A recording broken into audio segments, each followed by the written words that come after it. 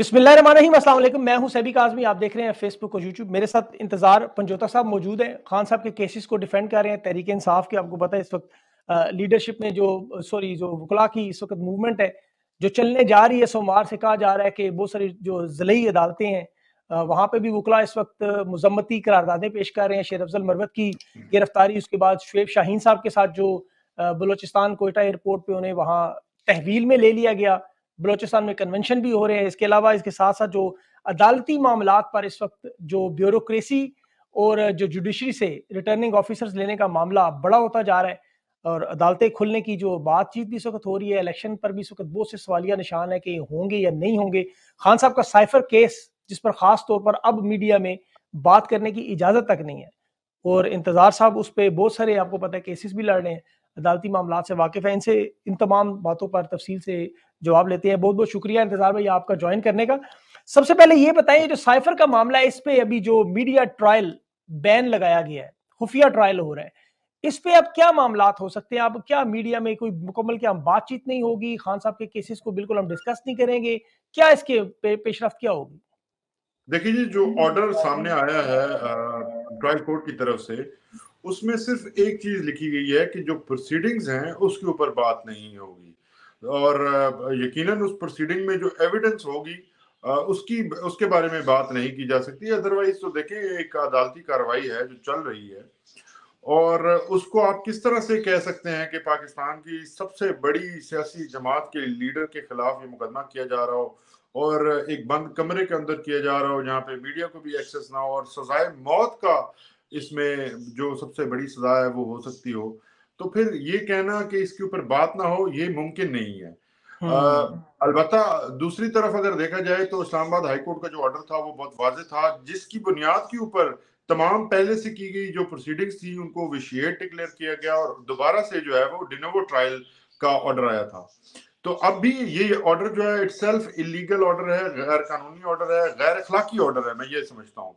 क्योंकि आप अगर किसी शख्स के खिलाफ इतने बड़े इल्ज़ाम लगाकर उसको सजाए मौत की सजा देना चाहते हो तो फिर आपको कम अज कम कुछ अखलाकियात का मुजाहरा ज़रूर करना चाहिए और आ, कुछ ना कुछ जो है वो आपको सामने ज़रूर लाना चाहिए। क्योंकि बुनियादी तौर पर आप देखते हैं कि एक कोशिश ये है कि किसी तरह से इमरान खान को मंजर से हटा दिया जाए। मंजर से हम्म। सियासी मंजर से दूसरे मंजर से हर तरह से हटाने की ये जो ये जो साजिश है ये अब बिल्कुल खुलकर सामने आई हुई है। आ, हम इसको चैलेंज करेंगे और उम्मीद करते हैं कि इस्लामाबाद हाईकोर्ट अपने ही फैसले के ऊपर जो है वो अमल दरामद ज़रूर कराएगी। बिल्कुल सही।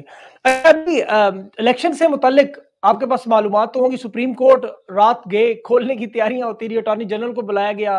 फिर उसके बाद इलेक्शन कमिश्नर जो है वो वहाँ पहुँच के चीफ जस्टिस काजी फायज साहब जो है वो कल जा रहे हैं छुट्टियों पे। तो और कायम मकाम जो है वो सरदार तारिक मसूद साहब बन रहे हैं। उन्हीं के पास साइफर भी जा रहा है। बाईस तारीख को जो जमानत की समात है, तीन रुकनी बेंच के पास। तो अब जो मामला आपको नज़र आ रहे हैं इलेक्शन पे खास तौर पर, अब चारों पार्टियाँ जो है पाकिस्तान मुस्लिम लीग नून, इस्तेकाम पार्टी, पीपल्स पार्टी और काफ लीग ये पटिशन कर रहे हैं कि हमें किसी सूरत में आर और डिस्ट्रिक्ट आर जो है, ये हमें ब्यूरोक्रेसी से जो है वो चाहिए, हमें अदालती जुडिशरी नहीं चाहिए। तो ये मामला किस तरफ़ जा रहे हैं कैसे देख रहे हैं आप? देखिए जी, ये बहुत ही इंटरेस्टिंग मेरी नज़र में ये मामला है। इसमें इंटरेस्टिंग होना इसकी सबसे बुनियादी वजह ये है कि इन्होंने आज तक जब से रजीम चेंज हुई है, एक ही कोशिश की है। एक कोशिश क्या की है कि किसी तरह से पाकिस्तान तहरीक इंसाफ का जो वोटर है, पाकिस्तान तहरीक इंसाफ इट है, उसको किसी तरह से तोड़ा जा सके। तो तमाम जो कोशिशें थी, वो इसी एक पॉइंट के ऊपर की गई और इसी एक पॉइंट को अचीव करने के लिए इतनी लाकानूनीत और इतना, इतनी फस्ताइत का बाज़ार गर्म किया गया कि हमारी खातन के साथ जो कुछ हुआ, लोगों के घर तोड़े गए ह्यूमन राइट्स को जो है वो जिस तरह से वायलेट किया गया, पूरे मुल्क को एक तमाशा बनाकर रख दिया गया। और एक पॉलिटिकल इंस्टेबिलिटी की वजह से जो इकोनॉमिक और फाइनेंशियल मेल्टडाउन आया, उसके असरात को भी नज़रअंदाज कर दिया गया। और एक जिद और एक अना के तहत एक एक जेद मुसलसल थी कि ये एक तरफ़ चले जा रहे थे और बढ़े जा रहे थे।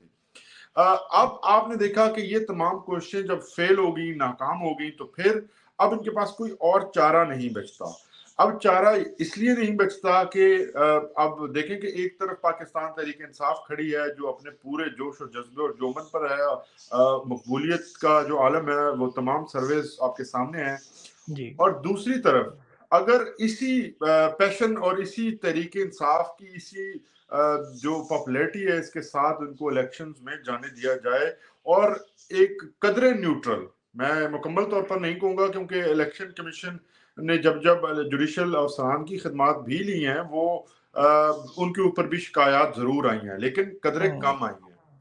तो आ, ऐसा एक इदारा जो कि इंडिपेंडेंट इदारा है जो इलेक्शन कमीशन के नॉर्मली जो जिस तरह से बाकी दीगर इदारे जिस तरह से डायरेक्टली इन्फ्लुएंस होते हैं उस तरह से जुडिशरी इंडिपेंडेंट है। इसके अलावा हुकूमत का जुडिशल अफसरान के ऊपर उस तरह से जो असर है वो नहीं होता। तो एक एलिमेंट ऑफ़ इंडिपेंडेंस है उसके अंदर जिससे ये खायफ हैं तो इन्होंने हम्म। जो सारी तैयारी की है वो तैयारी इस तरह से किया कि जैसे साइफर ट्रायल हो या तोशा खाना ट्रायल को बुलडोज किया गया उसी तरह से अब इलेक्शन रिज़ल्ट और प्रोसेस को बुलडोज किया जाएगा और उसका हम्म। सिर्फ़ और सिर्फ़ एक ही तरीकाकार हो सकता है कि अगर ये इलेक्शन हुकूमत के जो मुलाजिम है पेड मुलाजिम वो मुलाजिम जो इवन वॉशरूम तक भी उनकी मर्ज़ी के सुपीरियर ऑफिसर्स की मर्ज़ी के बगैर नहीं जाते तो उनके साथ ही इलेक्शन उनको अपने मर्ज़ी के रिज़ल्ट दिलवा सकता है अदरवाइज़ तो उनको उनके पास कोई चांस और ऑप्शन ही नहीं है। बिल्कुल सही बात है। और वैसे भी अगर इस वक्त देखा जाए तो उन्नीस में नवाज़ शरीफ साहब के अगर आप माजी को पढ़े तो उन्होंने इस वक्त जो इलेक्शन हुए थे वो इन्हीं लोगों से ब्यूरोक्रेसी से हुए और थ्री एमपीओ के तहत यही लोग तहरीके इंसाफ के 3500 लोगों को मई के बाद इस वक्त हिरासत में भी ले चुके हैं और बारह हज़ार से ज़्यादा तहरीके इंसाफ के जो कारकुन है वो आज भी जेलों में ये भी रिपोर्ट भी आ चुकी है। तो वाकई ऐसी हालात में फिर इलेक्शन को तस्लीम कौन करेगा? देखिए तस्लीम वो करवाना ही नहीं चाहते। उनके लिए आ, बड़ी माजरत के साथ ये जो इनका रवैया है इंतजामिया का और इन सब का मेरी समझ से तो बालातर है कि आप अचीव क्या करना चाहते हैं? क्योंकि जब Pakistan Tehreek Insaf being the largest political party आप उसको पूरे मंजरनामे से गायब कर देंगे। आप उसके बगैर इलेक्शन करवाएँगे, कभी आप उसके बल्ले के निशान के ऊपर हमला करते हैं, कभी आप बाकी तमाम चीज़ें जो आप, वो छोड़ दें, जो जिस तरह से लोगों को घरों पे दावे बोले गए अगवा बर बयान हासिल किया गए और एक बड़ी तादाद में एक एफर्ट हमें नज़र आती है कि रियाती मशीनरी को इस्तेमाल करते हुए पाकिस्तान तहरीक इंसाफ के जो मेम्बरान हैं उनको पार्टी छोड़ने पर मजबूर किया गया। पार्टी हम्म। को कमज़ोर करने की कोशिश की गई पार्टी को तोड़ने की कोशिश की गई। इस सब के बावजूद जब तमाम कोशिशें नाकाम हैं तो फिर आप क्या अचीव करना चाहते हैं? आप किस तरफ़ लेकर जाना चाहते हैं? मुल्क का मुस्तकबिल किसी को ख्याल नहीं आ रहा कि मुल्क का क्या होगा। मुल्क का मुस्तबिल जो है वो हमेशा जमहूरियत के साथ है और खान साहब दो दिन पहले भी उन्होंने इनफैक्ट ये बयान दिया है कि जमहूरियत का मतलब आज़ादी है। हम्म। आज़ादी तब आती है जब आप अपने फैसले आज़ादाना तौर पर करें। आजादाना तौर पर फैसले नहीं होंगे तो जो पचहत्तर साल से सिलसिला चल रहा है वही चलता रहेगा। हमारे पड़ोसी जो है वो अफ़गानिस्तान में 20 साल जंग के बावजूद आज उनकी जो जो उनका डॉलर टू उनकी करेंसी हाँ देख लें चार पे बराबर हाँ वो ये तो ये तमाम चीज़ें हमें ही सोचनी है हमारा मुल्क है हमने सोचना है बाहर वाले किसी ने आकर नहीं सोचना। तो मेरी समझ में तो नहीं आता कि ये किस तरफ़ चीज़ें लेकर जाई जा रही हैं। जी। अच्छा इंतज़ार भाई ये बताया अभी शेर अफजल मरवत आपके साथी हैं वो वकील हैं आपकी पार्टी के रहनमा दोस्त भी होंगे आपके इस, इस तमाम केसेस में। अभी जो मामला उनके साथ हुआ जिस तरह उनका गिरबान लाहौर हाई कोर्ट में जिस तरह गिरबान से पकड़ा गया और पुलिस गर्दी जो हमने देखी वकला तो बड़े ताकतवर एक मतलब मुनजम आपको पता है पाकिस्तान में एक सियासी और इखलाकी ताकत के साथ इकट्ठे थे और खड़े थे। लेकिन ये जो मामला हुआ पंजाब में उनके साथ उसके बाद आपकी बड़ी अच्छी ट्वीट्स आई फिर नईम पंजोता की बड़ी ज़बरदस्त ट्वीट्स आई। अब आपकी कुछ करारदादें भी मेरे में पेश हुई तमाम ज़िले बुकला जो है वो सारे हैं और खैबर पख्तूनख्वा से शायद मंडे को आ भी रहे हैं। फिर अभी उनका कुछ बयान भी आए तो अभी क्या हो क्या रहा है ये मामला? फिर शुएब शाहीन साहब को भी जिस तरह कोयटा में तहवील में ले लिया गया। तो ये सारे मामला बुकला के साथ। बिल्कुल जी देखिए शेर अफजल साहब हमारे दोस्त नहीं है हमारे बहुत ही करीबी साथी हैं। दोस्तों से ज़्यादा उनके साथ भाइयों वाला रिश्ता है।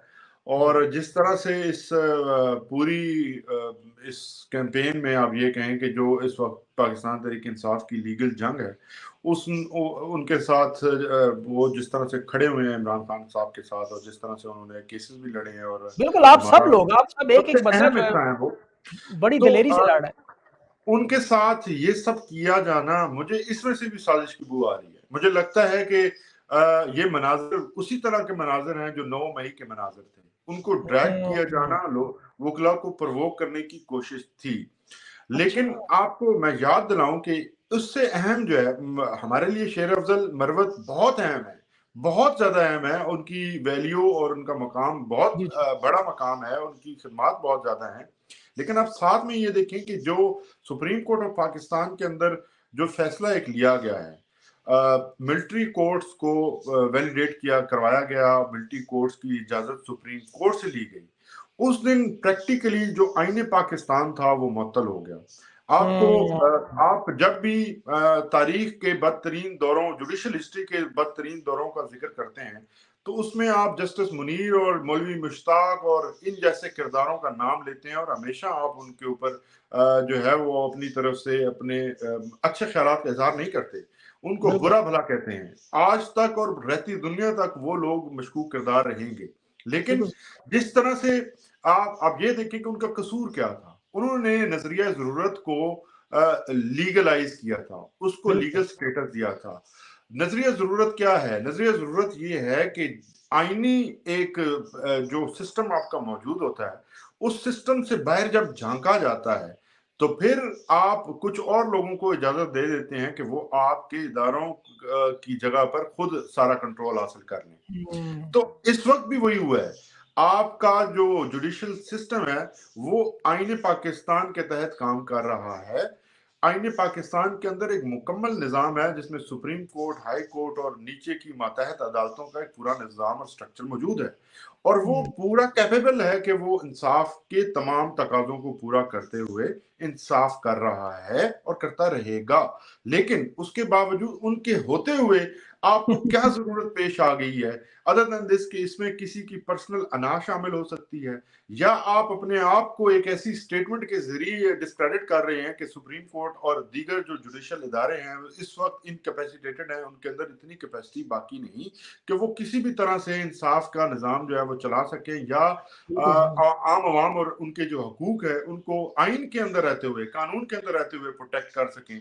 तो जब सुप्रीम कोर्ट ऑफ़ पाकिस्तान एक गैर आइनी इकदाम को लीगलाइज करेगी तो एक बहुत बड़ी रोर होगी। और मैं ये समझता हूँ कि शेर अफजल की गिरफ्तारी जो है बेसिकली उस जो रोर और उसका रिएक्शन को डिस्ट्रैक्ट करने की एक कोशिश थी लेकिन जैसे आपने फरमाया बिल्कुल बहुत अच्छे रिस्पॉन्सेज आए हैं तमाम बार एसोसिएशन की तरफ़ से बिलखसूस लाहौर डिस्ट्रिक्ट बार की तरफ़ से और लाहौर हाईकोर्ट बार की तरफ़ से क्योंकि जब भी पाकिस्तान में वकला तहरीकें चली हैं वो लाहौर बार के अंदर से चली हैं और हाँ। लाहौर हाईकोर्ट बार का जो इहाता है वहाँ पे आपको मैं बता दूँ कि वहाँ पे कुछ बोर्डे हैं और एक अंदरून वाली बोर्ड है उस बोर्ड के साइज़ से हमेशा आप अयूब खान के खिलाफ देखें और दीगर जितने आमिर पाकिस्तान की तारीख में आए हैं उनके खिलाफ तहरीकें वहीं से उठी हैं तो इस बार भी उसी बोर्ड के साय में एक बार फिर तमाम सीनियर वकला को लतीफ खोसा साहब को एतजाज अहसन साहब को वहाँ पे इकट्ठे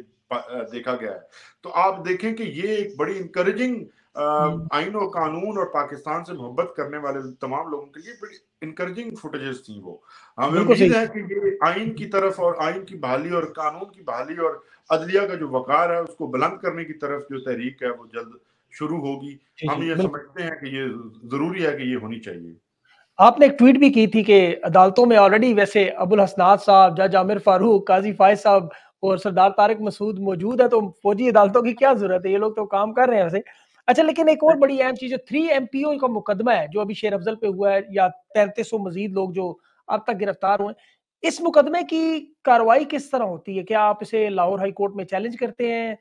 फिर अदालत में जज साहब हुक्म देते हैं कि माजी में उन्होंने परवेज अलाई के केस में फवाद चौधरी के केस में खदीजा शाह के केस में लाहौर हाई कोर्ट ने हुक्म दिया लेकिन उसे माना नहीं गया। तो अब शेर अफजल के मामले में अगर हाई कोर्ट हुक्म देती है कि इन्हें फ़ौरन रिहा किया जाए तो उसका फिर अगला क्या प्रोसेस क्या होता है? देखिए जी, एक एफर्ट नज़र आती है कि किसी तरह से जैसे आपने जिन तमाम लीडर्स का ज़िक्र किया, उनको बेसिकली तो एक कोशिश थी कि बिहाइंड द बार्स रखा जाए। अब देखना ये है कि क्या वो शेर अफजल साहब को भी दीगर मुकदमा में, एक के बाद एक मुकदमे में इन्वॉल्व करके तो अंदर तो नहीं रखना चाहते। अब ये देखना पड़ेगा, लेकिन जो एमपीओ का ऑर्डर है तीन एमपीओ का ऑर्डर है उसको खिलाफ आज पिटीशन फ़ाइल हो चुकी है। बड़ी उम्मीद हमें ये थी कि उसमें क्योंकि लाहौर हाईकोर्ट बार की नायब सदर पिटिशनर है खुद तो उनकी पिटीशन के ऊपर फौरी इंसाफ होगा। लेकिन क्योंकि ये इट्सल्फ एक इलीगल ऑर्डर था शेर अफजल मरवत जो है ना तो किसी बैंड तंजीम के मेंबर हैं ना वो कोई दहशत गर्द है ना उनका किसी ऐसे हाँ ना उनके, देखिए मुकदमा होना इट्सल्फ जो है एमपीयू के ऑर्डर के खिलाफ है। मुकदमात होते हुए भी किसी को एमपीओ के ऑर्डर में बंद नहीं किया जा सकता। मुकदमात जब दर्ज होते हैं तो इसका एक अलग से प्रोसेस है और अदालतों ने हमेशा उसको जो है, वो डेप्रिशिएट किया और ऐसी, ऐसे जब भी तीन एमपीओ के ऑर्डर्स आए हैं, जिसमें क्रिमिनल मुकदमात की बुनियाद पर किसी को डिटेन किया गया हो तो इमीडिएटली उन्होंने उसको न सिर्फ़ सस्पेंड किया है, बल्कि आज़ादी का हुक्म भी दिया है। लेकिन आज इंटरेस्टिंगली मैं फिर से कहता हूँ कि बड़ा सरप्राइज़ हूँ मैं कि आज शेर अफजल मरवत साहब की आज़ादी की जो पिटिशन थी उसके ऊपर से नोटिस जारी किए गए हैं। मंडे के लिए नोटिस जारी हुए हैं। हम उम्मीद करते हैं कि वो अपनी रिपोर्ट के साथ मंडे को आएँगे और हम शेर अफजल मरवत साहब को वापस आज़ाद करवाएँगे किसकी अदालत में है ये? Chief justice Lahore high court उनकी अदालत में है ये केस? ये जी केस आज शहराम सर्व जस्टिस शहराम सर्वर चौधरी साहब है लाहौर हाई कोर्ट के जज है।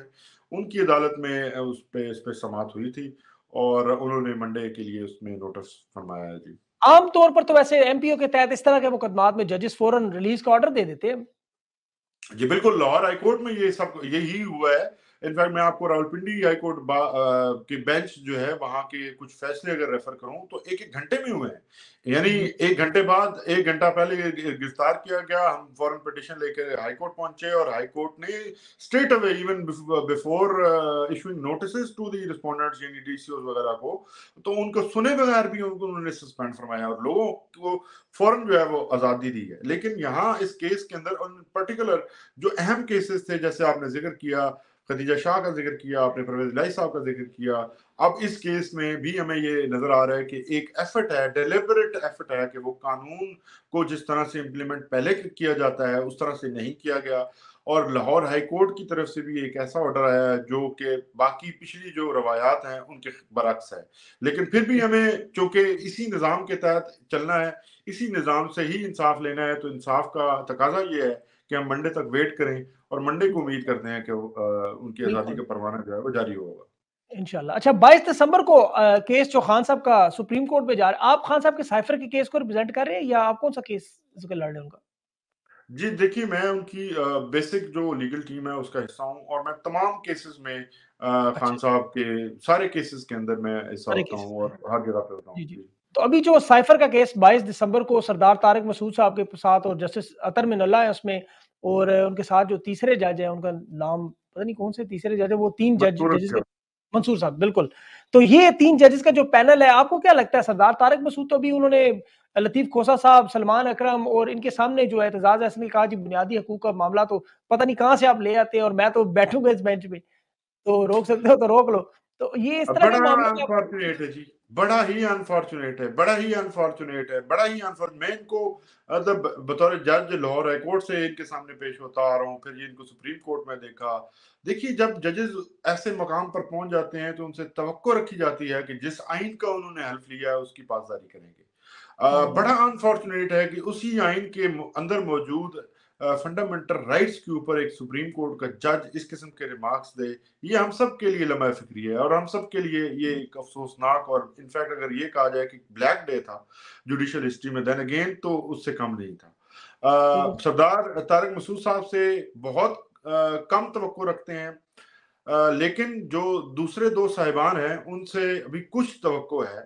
उन्होंने काफ़ी अच्छी जजमेंट्स जो हैं वो रेंडर की हैं। बिलखसूस ह्यूमन राइट्स को, को के, के पस मंजर में उन्होंने बड़े अच्छा उनका अतर साहब ने तो इकतालीस सफात का एक इख्तलाफी नोट भी लिखा था अभी पिछले दिनों में केस में। इकतालीस सफात का उनका नोट नोट भी आया था बड़ा सामने। और मंसूर साहब की शोहरत भी कुछ मेरे ख्याल में बेहतर ही है इन मामला में इंसानी हकूक के। जी मैं वही मैं वही अर्ज़ कर रहा हूँ कि उन दोनों साहिबान ने अपने अपने तौर पर बहुत अच्छी अच्छी जजमेंट्स जो है वो रेंडर की हैं और ह्यूमन राइट्स वायलेशन के ऊपर हमेशा सबसे ज़्यादा वो वोकल भी रहे हैं और उनकी तरफ़ से ह्यूमन राइट्स के हक में हमेशा से जजमेंट्स आई हैं और वो सिंबल समझे जाते हैं इस वक्त हमारी सुपीरियर जुडिशरी के अंदर जो ह्यूमन राइट्स के चैंपियन जजेस में से हैं। अच्छा ये बताएँ कि वो इंसाफ करेंगे जी। जी। अच्छा ये बताइए कि अभी वुकला का आपको पता है इस वक़्त पाकिस्तान में तहरीक इंसाफ आपको पता है बड़े मज़बूत बाजू हैं आप लोग वुकला। तो आप भी इलेक्शन लड़ रहे हैं इस वक़्त पाकिस्तान में जो अभी आठ फरवरी को मुमकिन तौर पर पहले तो ये बताएँ आपको इलेक्शन होते हुए नज़र आ रहे हैं? आपको क्या लग रहा है जो जिस तरह सुप्रीम कोर्ट रात को खोली जा रही है, जिस तरह जो इलेक्शन कमिश्नर मिल रहे हैं, फिर ये सारे मामला चल रहे हैं, फिर चार-चार पार्टियाँ तो आपको लगता है इलेक्शन होंगे आठ फरवरी को? देखिए जी, सुप्रीम कोर्ट का आज की जो प्रोसीडिंग है उसके ऊपर बड़ा बहुत डिपेंड करेगा। हम उम्मीद करते हैं क्योंकि सुप्रीम कोर्ट ने ये फैसला खुद दिया और जिस तरह के रिमार्क्स आए कि वो इसके ऊपर अमल दरामद करवाएँगे। आज अगर खुद वो अपने फैसले को तब्दील करते हैं तो फिर ये इस मुल्क का जो हाल होगा उसको अल्लाह ही बचाए अल्लाह ताला उसको महफूज रखे अल्लाह ताला इसको तरक्की दे। लेकिन बड़ा अनफॉर्चुनेट होगा।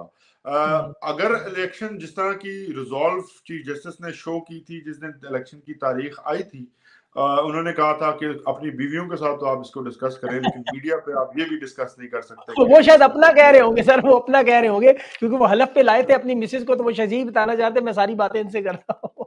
वो आपको और मुझे हाँ नहीं कह रहे। जी।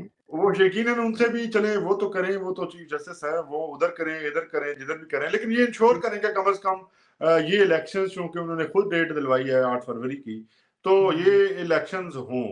अगर इलेक्शन रहे होते हैं तो ये मुल्क के लिए बहुत नुकसानदेह चीज़ होगी। इससे किसी का फ़ायदा नहीं होगा। तो आप अपने इलेक्शन अगर इलेक्शन होते हैं जी। जी। आप कहाँ से लड़ रहे हैं? इलेक्शन आप लड़ रहे हैं? देखिए जी मैंने खान साहब को बड़ा वाजे पहले दिन से कहा था कि ना तो मैं किसी अहदे का तलबगार हूँ ना मैं किसी सीट का तलबगार हूँ ना मैंने कोई इलेक्शन लड़ना है और ना ही मुझे इस एक्टिव पॉलिटिक्स में आने का कोई, मैं एक प्रोफेशनल लॉयर हूँ, मुझे वो अपना प्रोफेशन जो है वो बड़ा पसंद है।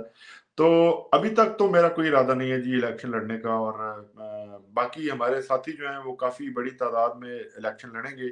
लेकिन अगर इन केस के कोई इलेक्शन लड़ने के काबिल नहीं रहता, वो नहीं लड़ता और खान साहब की तरफ़ से हुक्म आता है कि आपने इलेक्शन लड़ना है तो फिर ज़रूर लड़ूँगा लेकिन इस वक्त तक मैंने उनको इलेक्शन ना लड़ने की अपनी जो है वो ये ख्वाहिश का इजहार किया है और उन तक यही है कि मैं इलेक्शन नहीं लड़ूँगा। तो मैंने यही अनाउंस कर रखा कि मैं इलेक्शन नहीं लड़ूँगा। अच्छा नहीं नहीं आपको लड़ना चाहिए। आप जैसे लोग तो असेंबली में आएँगे पढ़े लिखे लोग देखे जब बांग्लादेश में यही हुआ था शेख मुजीब के टाइम पे इस वुकला और ये लोग इलेक्शन में आए और देखें आज बांग्लादेश किधर है। तो आप जैसे लोग अगर आएँगे सामने तो फिर जान छूटेगी इस फरसुदा निज़ाम से? सबसे जो पहला हक है ना जी वो है पाकिस्तान तहरीक इंसाफ की उस लीडरशिप का कि जिन्होंने पूरे डेढ़ साल से ये इस फस्तायत को न सिर्फ़ फेस किया है बल्कि आज तक वो रिजिलियंस के साथ वो खड़े हैं। मैदान में खड़े हैं और तहरीक इंसाफ और इमरान खान के साथ खड़े हैं। वो मंजे हुए सियासतदान हैं उन सब का सबसे ज़्यादा हक है। उन्होंने जो सफ़र किया है वो अपनी फैमिलीज़ का नुकसान देखा उन्होंने अपने घर तोड़वाए उनके साथ जो जो कुछ हुआ आप सबके सामने है। उनका सबसे ज़्यादा और सबसे पहला हक है क्योंकि उन्होंने जो अपनी लॉयल्टी टू द कॉज है लॉयल्टी टू इमरान खान है लॉयल्टी टू पाकिस्तान तहरीक इंसाफ है उन्होंने सबसे ज़्यादा उसको साबित किया है।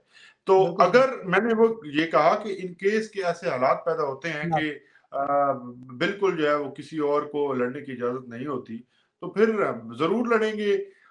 ये नहीं है कि हम कोई उससे मैदान से भाग रहे हैं लेकिन एक एक फैसला है जो कि इसलिए किया गया है कि कहीं से ये इम्प्रेशन आए कि हम किसी अहदे के पीछे हैं या हम आ, कोई सियासी अपना अजाइम रखते हैं हम प्रोफेशनल लॉयर्स हैं, हम उस तरफ़ भी रहना चाहते हैं, बिलखसूस मैं इसीलिए मैंने ये अनाउंस भी किया है और अगर मुझे कहा गया तो मैं ज़रूर लड़ूँगा।